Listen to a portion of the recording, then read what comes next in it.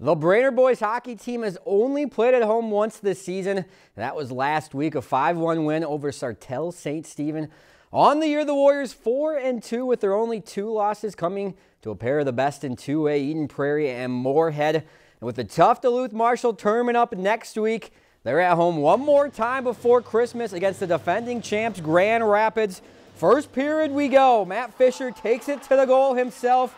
Warriors get on the board first and lead 1-0 into the locker room.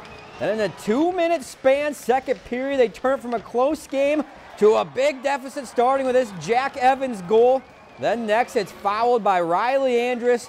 He scores, and they're up 3-0 just like that. Then the dagger later. Fisher falls down, but we're going to go to the final score, or we're going to show that Mason Cruz by the net for 4-0 lead. The Warriors are up big after two, and they would go on to win 6-0 the final score. If you've enjoyed this segment of Lakeland News, please consider making a tax-deductible contribution to Lakeland Public Television.